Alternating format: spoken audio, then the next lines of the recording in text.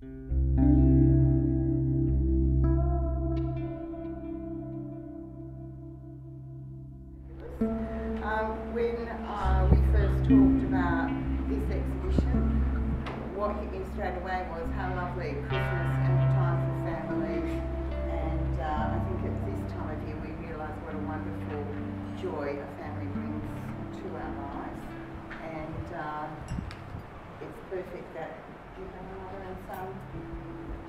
work together at this time. Uh, we invited Helen Norton, who knows both Josh and Ingrid really well, to do the speech. So I'm going to hand over to Helen. Thank you, Jo. Um, and congratulations to both of you. This is a pretty remarkable achievement. And I'm going to tell you why. so, I've actually written this because it's actually a, s- it's a story, but you won't fall asleep. And this is what's behind it. It's not what you see so, all right, here we go. So, how did a mother and son end up in this room together with the walls lined with their creations? You didn't just sort of come along from art school or something like that. That wasn't how this all occurred. And why the title Metamorphosis? And I hope I can shed some light on that as an observer to the changes Ingrid and Josh have been through over the past 20 years, and of course his family as well, which there are many members here tonight. I've known Ingrid and her husband Peter for well over 25 years. I actually stopped trying to work it out. I kept asking her and I gave up. It was too long. and we first met in Broome, where we were respectable rivals in a very hot art market. Broome, as many of you know, was booming back in the, uh, when was it? 1910, 1910. And so, sorry, 19. So we did. We actually didn't really. We, we didn't really have much to do with each other then, apart from sort of casting a hairy eyeball over each other. Mm. As we were all just so busy painting and keeping up with things, it really was like that. It was a remarkable time. And what I knew of Josh was that he was a happy and productive young man with a verve and a zest for life and a love of people. And that's exactly what he is right now. However, so at the time he was squeezing the juice out of life and he was helping his parents in their productive art business. He used to do the framing and everything. He was right there. And little did any of us know that soon after that, life for Josh would turn and eventually try to squeeze the life out of him. It was not until more recent years that Ingrid and I really connected on a deeply personal level and began sharing our reflections and struggles in our lives as mothers, artists, and pretty much frustrated old bags. I was going to say spiritual vagabonds. You're like spiritual vagabonds, which is like grumpy old bastards. So, but, yes, yes. so we, related it. Alas, we related. So it was during this time that Ingrid revealed Josh's 20-year battle with addiction, which caused all of the problems that he had had. The trouble seemed insurmountable. I was shocked. I had no idea. The sense of powerlessness and over and uh, was overwhelming. And that old, you know, the old phrase, "One day at a time, one day at a time." It was flogged into oblivion. No one is exempt from the creepy claw of tragedy. It can strike any of us any time. Any wonder the only answer to it is compassion and kindness. This is only my version of what I saw, and, and remember, I'm a bit of a storyteller, that's what I do in my work. And I find the story in everything, and it's been an incredible story for me to watch this. So I'm delighted to be telling you how this panned out. I remember very clearly the day that Ingrid came to terms with Josh's situation completely. We used to talk for hours on the phone.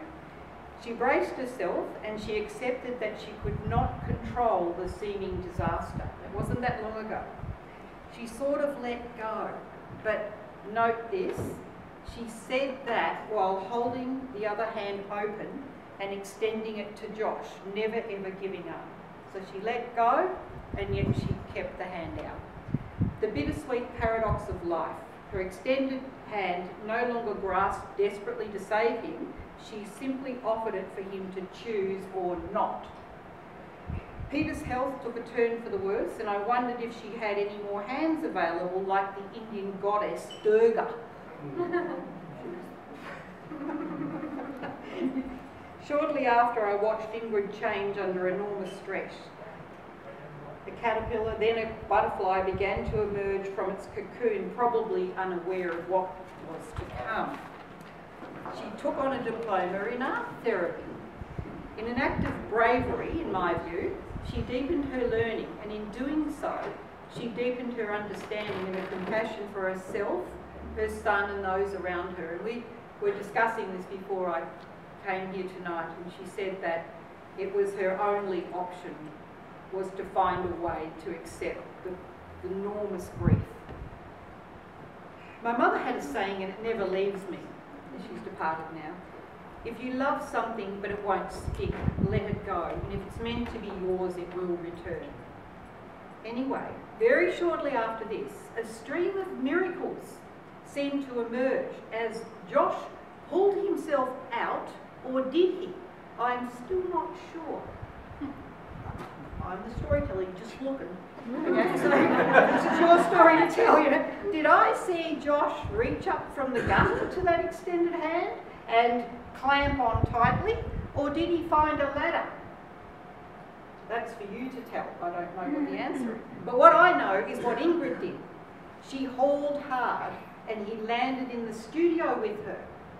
He hadn't been a painter before. She thrust a brush into his hand and turned him to the canvas. As far as I'm concerned, she then said to him, Carve it out, your suffering. Make it known here in this safe place. Art is not an all forgiving mother, it's a mirror that tells no lies.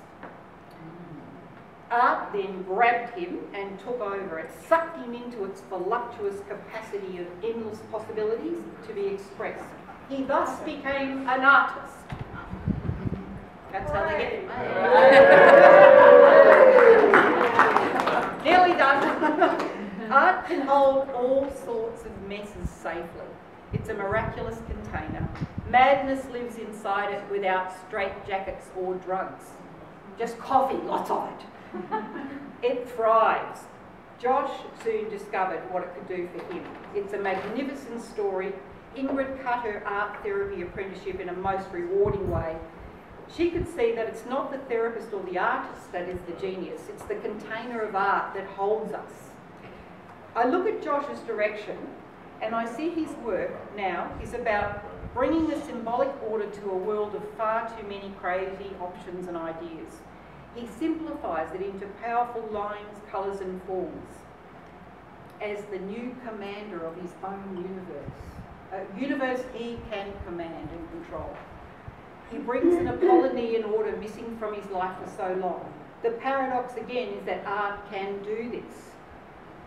It can bring chaos into harmony and turn it into a song, a thing of beauty. What once threatened to eat us, we can tame with art. And then we have Ingrid's work, which says, and I think of her sending this message to Josh, look at the genius of nature. Look how beautiful she is. Look at her curves, her trees, her skies, her single seagull, bringing the wisdom of Demeter, the goddess of nature. I know she herself, in regards to the word metamorphosis, was telling me that for her, she dissolves into the landscape, into her work. She becomes the metamorphosis, like a landscape is. It's always changing and growing and evolving.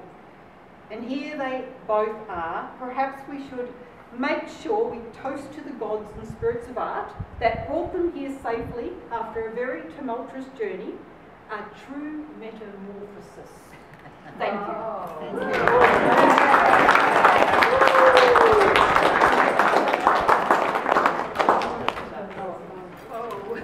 There we go.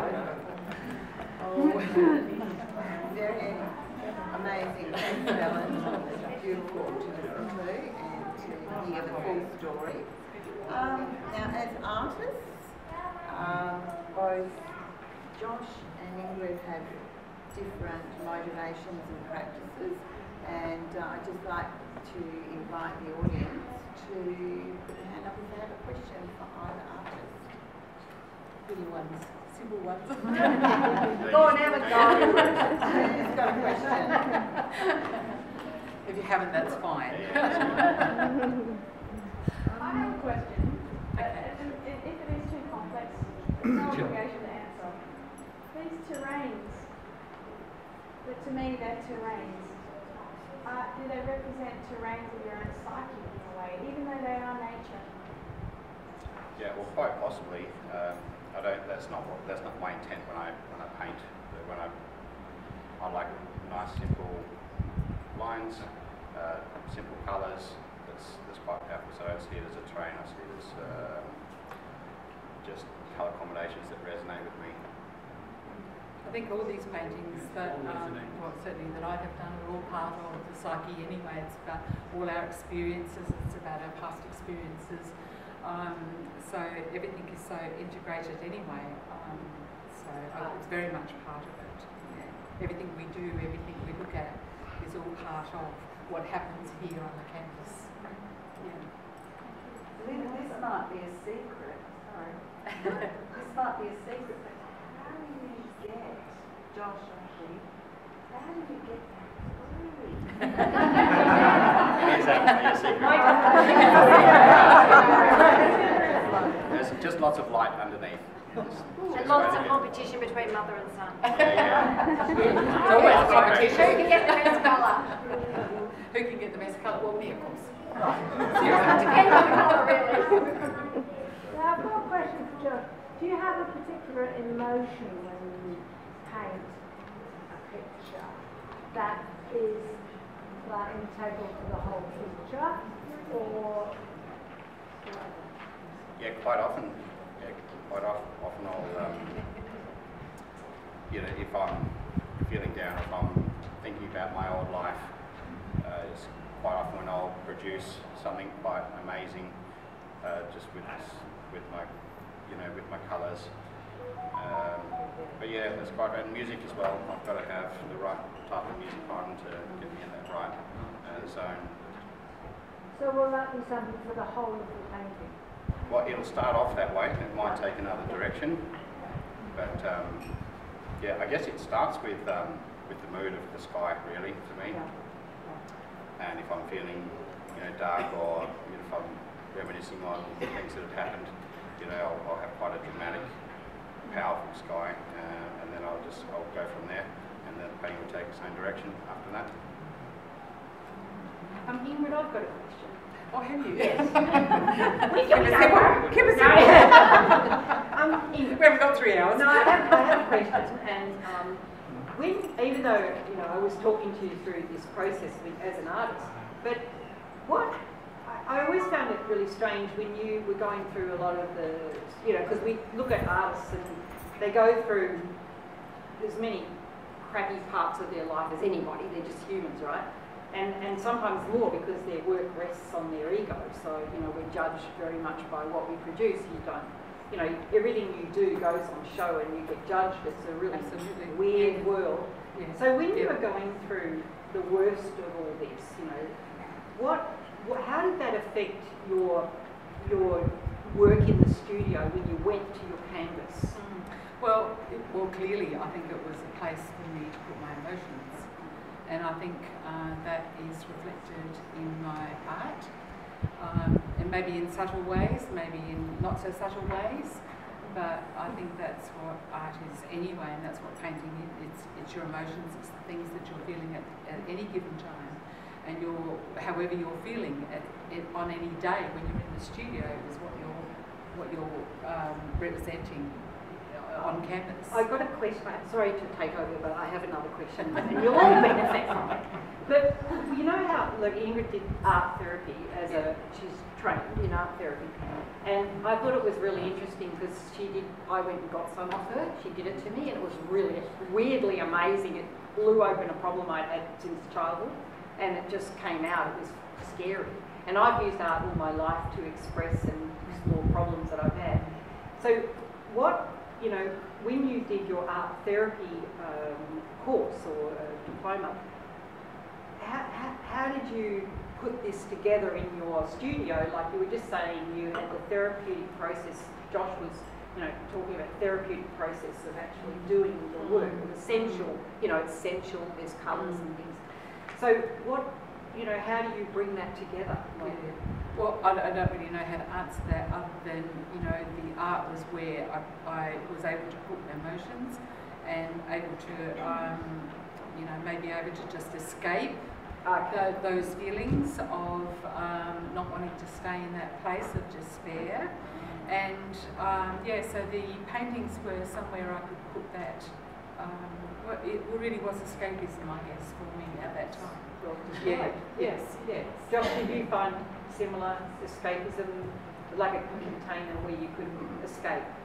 Absolutely. Yeah. Yeah. yeah. Thank you. So it's a, it, it is a wonderful tool for um, art therapy, but also art as therapy. Yeah, there's a difference. Art, art, isn't uh, there is a difference between art therapy. and art as Yes. therapy. And I think what maybe both of us were going through was art as therapy. Yes. And I know, you know, for Josh, I think that, um, well, the art therapy was what um, enabled me to um, help Josh through that process, was knowing that we are our own healers, we are our own healers, and and um, and so you know, it was uh, the therapy was so uh, so fabulous for me because I was able to just stand back and let him find his own way and just provide the tools basically is what an art therapist does anyway is just provide the tools the throw the paint and canvas at him and um, not tell him how to do it or yeah so allow that um, personal uh, expression Um, yeah. Josh, had you painted before you made this turn into the studio? Actually, uh, well, I was more into drawing actually, like leading up to uh, when I made that decision to leave my old life. I'd actually got into just doing drawings and symbols and stuff. So it actually started just before I went into Yeah. recovery, and then even when I was um, during my uh, rehabilitation, Yeah. I, we uh, we had art classes there, and I just I took to that straight away. It's all I wanted to do. Uh, so it's actually a, a part of um, of the program, Yeah. massive in music and art. Yeah, and so it was either music or art for me, and um, Yeah. yeah. I just wanted to do both. But you'd also grown up with that. You, Oh, you know, you've always been part of a studio and always, um, yeah, so that, that would have been maybe going back to maybe that time as well. Yeah. maybe. It's a good story because it could be. Oh, it's a good Yeah, sorry. I'll, I'll, shut, I'll just shut up a minute. Because right. that could have ended very badly and it it doesn't have to. Sorry, yeah. Well, I just wanted to say, Sue, how long have you actually been painting in this new? Myself, Yeah. about three years. Wow. Okay. A bit over three years, three and a half years. Amazing and well done. Thank you. Yeah, Yeah, well done. Thank you. Yes. Do you remember the exact moment that you decided you wanted to, to be an artist or give it a go and, Mm. and, and do what was the situation? Maybe not the exact moment, but I I actually gave art therapy a go. So I was out of rehab and I was just doing a lot of painting at home and then decided to take on this course as well. So I actually did the first few uh, months of this um, therapy course and I was actually the guinea pig uh, in front of the class. I was art therapized, I guess, and um, and like I, I was a little bit skeptical, so I was just doing my drawing, and um, the uh, facilitator was asking me to turn my work around, and oh, do you see anything else in it? And then for just it just happened. I just saw something in my artwork that I'd done that um, it was like a bridge, uh, or sorry, it wasn't a bridge, it was a crossroads, and um, then I realised right then that I wanted to to do art, not not so much the art therapy. I just wanted to paint. So that was the moment. Yeah.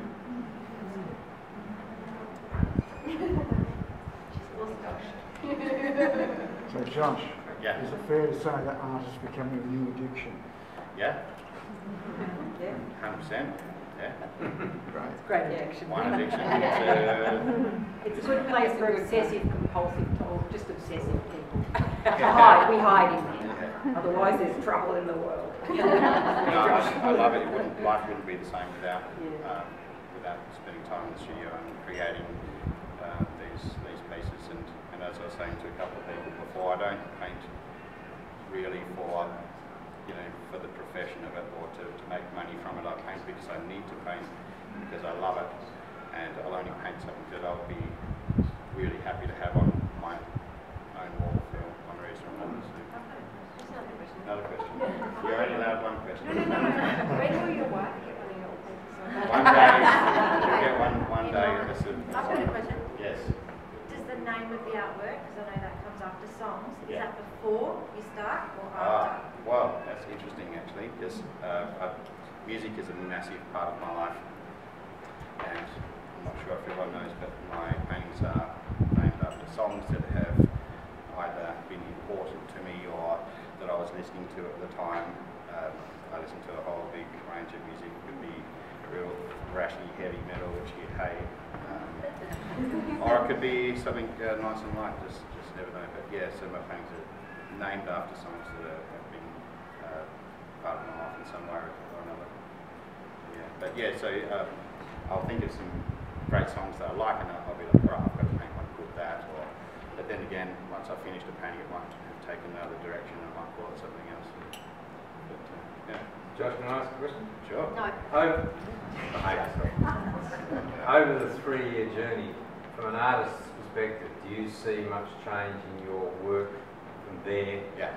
To that? Yeah, yeah, yeah, absolutely. And in actual fact, like when I look at some of my early stuff, I cringe a little bit. Like, oh, that's yeah, that's real beginner stuff. Uh, yeah. So, but and again, it's been uh, it's been a great journey, and I've still really loved some of my old pieces as well. And I quite often reflect back and look at some of my earlier pieces that were the ones that actually made me want to continue down this path and, and do this.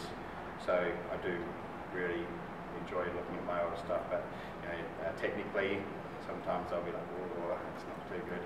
But uh, yeah. Well done. Any more Alright. questions?